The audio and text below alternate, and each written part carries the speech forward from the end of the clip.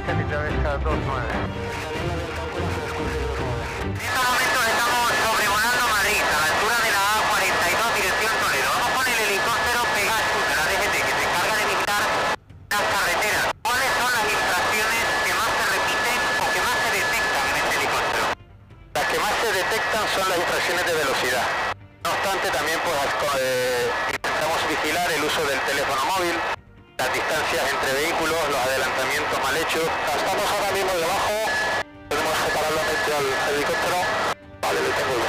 Una furgoneta lleva 122 kilómetros y debería ir a 90. No sé si por la prisa que llevan a la hora de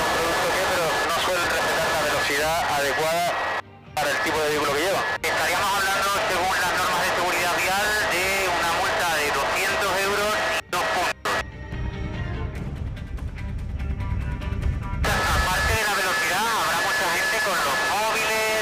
Hemos encontrado curiosidades de todos tipos, ¿no? Conductores haciendo cubo de Rubik, o personas pues que el copiloto van con las piernas encima del tablero, que es una acción que parece que es una tontería, pero no se dan cuenta del peligro que conlleva y salta la herba del vehículo.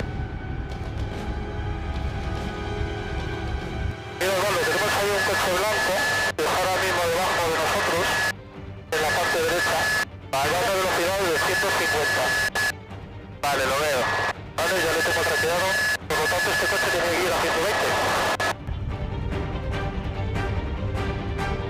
Venga, tengo una furgoneta a la izquierda, ¿vale? Afloja un poquito, Osvaldo. Venga, ya le tengo en pantalla.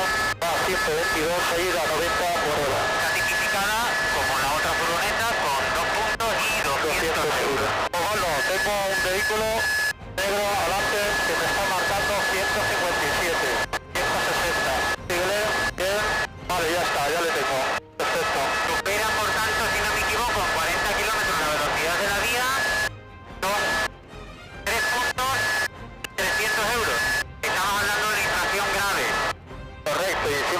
teniendo en cuenta que si se le pincha una rueda, se cruza alguien en la carretera, no tiene tiempo para reaccionar a esa velocidad.